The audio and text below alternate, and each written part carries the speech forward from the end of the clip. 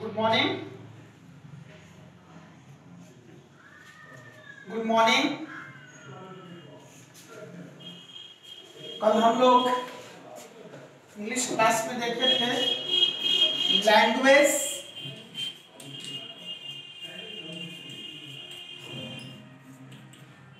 मैं रिवाइज करवा दूँ. Language letter word sentence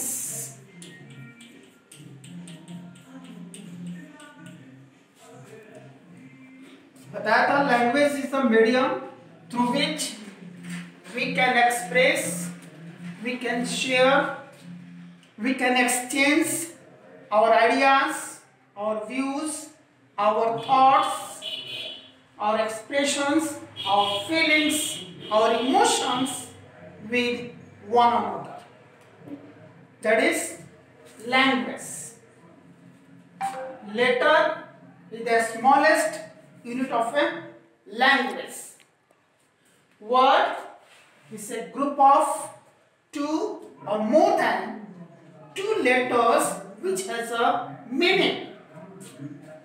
And sentence is a group of collection of group of words two or more than two words which has a complete meaning or which has a sense that is called as sentence now आज इसी sentence के part पर हम लोग विचार करेंगे sentence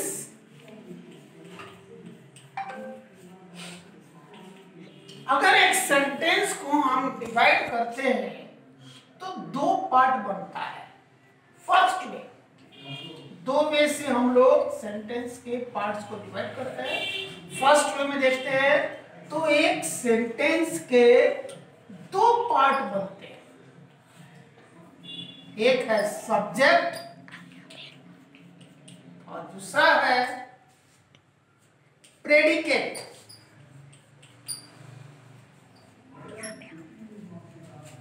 subject and predicate अब जब हम सेकेंड वे में बात करते हैं तो एक सेंटेंस के थ्री पार्ट्स बनते हैं। Subject, verb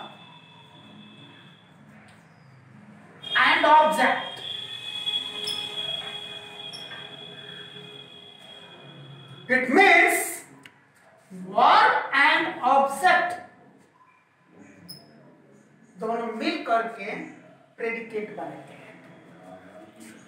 यही हो गया प्रेडिकेट देख हम लोग, यहाँ भी सब्जेक्ट है, यहाँ भी सब्जेक्ट है। दोनों जगह सब्जेक्ट सब्जेक्ट है। इस वे में फ़र्स्ट में देखा आपको प्रेडिकेट है सेकंड में यहाँ पर वर्ब और ऑब्जेक्ट आ रहा है। इट मींस इसका ये हुआ कि वर्ब और ऑब्जेक्ट मिलकर के ही प्रेडिकेट बनाते हैं। अब अगेन इस वर्ब के दो पार्ट हो जाते हैं। एक हो जाता है हेल्पिंग वर्ब जिसको कि हम लोग ऑक्सिलरी वर्ब भी कहते हैं। और दूसरा हो गया मेन वर्ब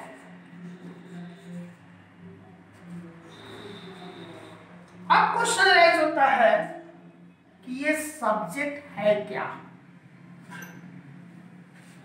इस सब्जेक्ट को हिंदी में कहते हैं कर्ता। क्या कहते हैं? कर्ता। जिसका अर्थ ही होता है करने वाला। यानी कि सेंटेंस में जो डूअर है एक्शन परफॉर्मर है, जो वर्कर है, वो हमारा सब्जेक्ट यानी कि काम को करने वाला, क्रिया को करने वाला जो डूअर है एक्शन परफॉर्मर है, जो वर्कर है, वही सब्जेक्ट है। और फिर क्वेश्चन राइज होता है कि ये वर्ब क्या है? व्हाट इज़ वर्ब तो हिंदी में इसको बोलते हैं क्रिया। मतलब कार्य। मतलब काम। वर्क या एक्शन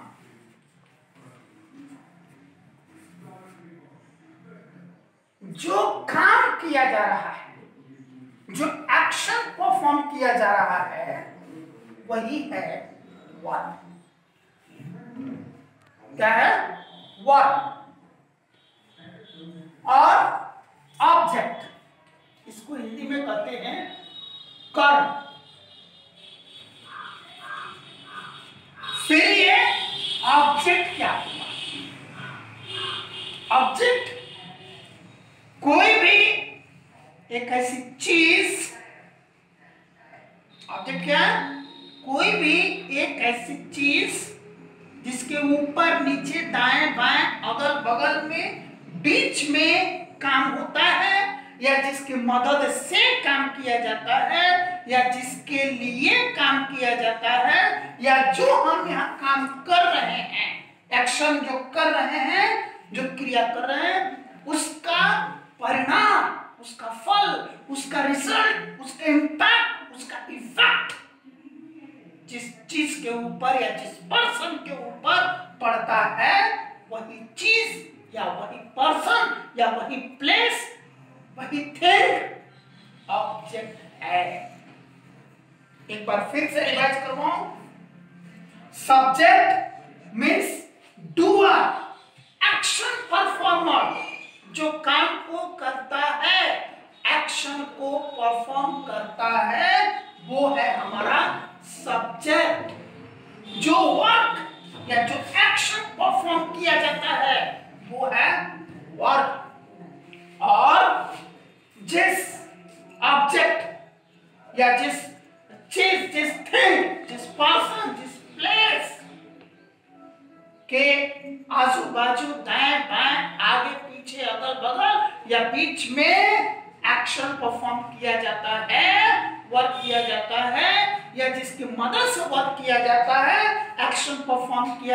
है, काम किया जाता है, या जो हम यहाँ पर वर्क कर रहे हैं, जो एक्शन परफॉर्म कर रहे हैं, जो काम कर रहे हैं, उसका इम्पैक्ट उसका रिज़ल्ट उसका इफ़ेक्ट जिस चीज़ के ऊपर पड़ता है,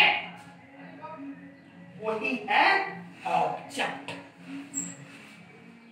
और वर्क और ऑब्जेक्ट दोनों मिलके हो गए प्रेडिकेट हिंदी में क्रिया करते हैं, जिस किसी भी शब्द के अंत में ना आ जाए, वो क्रिया है।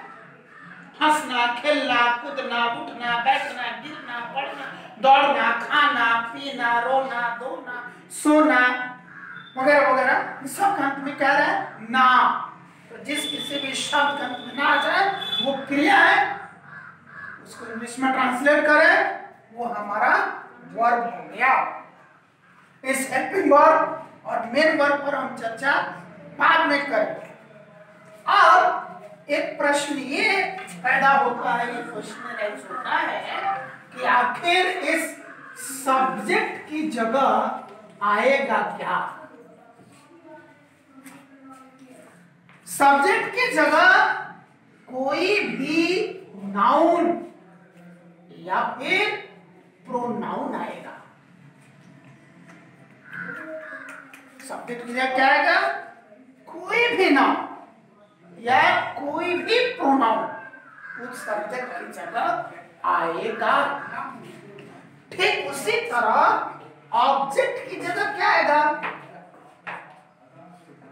ऑब्जेक्ट की जगह भी कोई भी नाउन या कोई भी प्रोनाउन आएगा।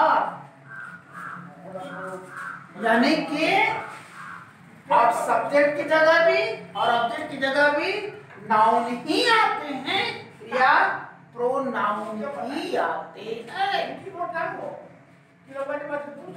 ये ध्यान देना कि सब्जेक्ट की जगह भी और ऑब्जेक्ट की जगह भी नाउन और प्रोनाउन ही आते हैं। फ़र्क क्या है? कोई भी नाउन सब्जेक्ट की जगह आ सकता है और कोई भी नाउन ऑब्जेक्ट जगह आ सकता है? पर कुछ प्रोनाउन है जो कुछ ही सिलेक्टेड प्रोनाउन है जो सब्जेक्ट की जगह आते हैं और कुछ ही सिलेक्टेड प्रोनाउन है जो ऑब्जेक्ट की जगह आते हैं। ऐसा नहीं है कि कोई भी प्रोनाउन जो सब्जेक्ट की जगह आ रहा है सेम टू सेम उठ करके वो ऑब्जेक्ट की जगह आ जाएगा, या जो ऑब्जेक्ट की जगह आ रहा है, वो सेम टू सेम सब्जेक्ट की जगह आ जाएगा, ऐसा नहीं है। वो आ भी सकता है और नहीं भी आ सकता है। यानी कि जो प्रोनाउन सब्जेक्ट की जगह है, वो ऑब्जेक्ट की जगह हो भी सकता है और नहीं भी हो सकता है। जो प्रोनाउन ऑब्जेक्ट की जगह है, वो सब्जेक्ट की जगह हो भी सकता है और नहीं भी हो सकता है पर ये बात तो क्लियर है कि सब्जेक्ट की जगह कोई नाउन या प्रोनाउन ही होगा, और ऑब्जेक्ट की जगह भी कोई नाउन या प्रोनाउन ही होगा। ये कैसे चेंज होते हैं, ये फिर मैं आगे एक्सप्लेन करूँगा कि कौन कौन से प्रोनाउन सब्जेक्ट की जगह आएँगे कौन कौन से प्रोनाउन ऑब्जेक्ट की जगह आएँगे, ये मैं एक्सप्लेन करूँगा, मैं बताऊँगा।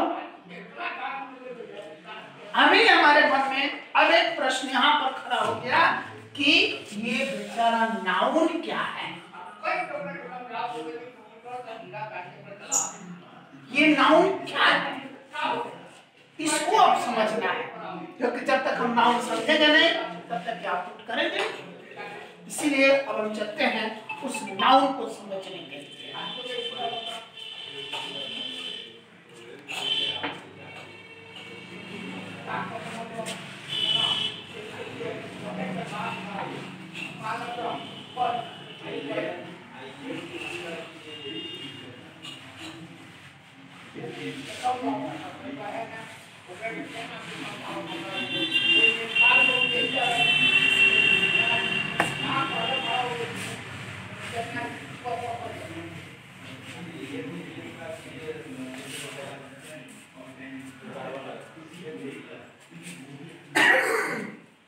नाउन।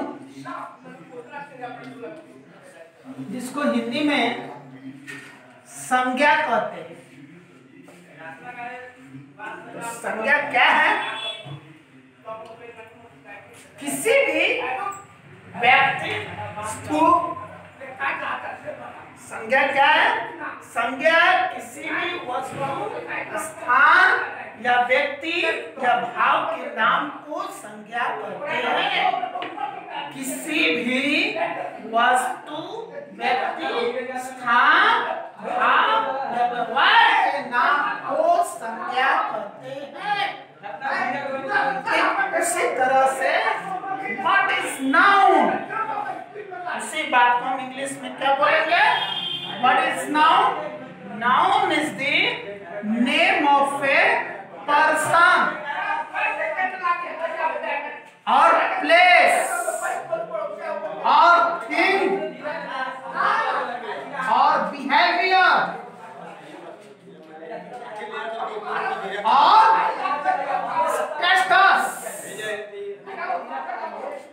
बट इस now noun is the name of a person और प्लेस और थिंग और बिहेवियर status.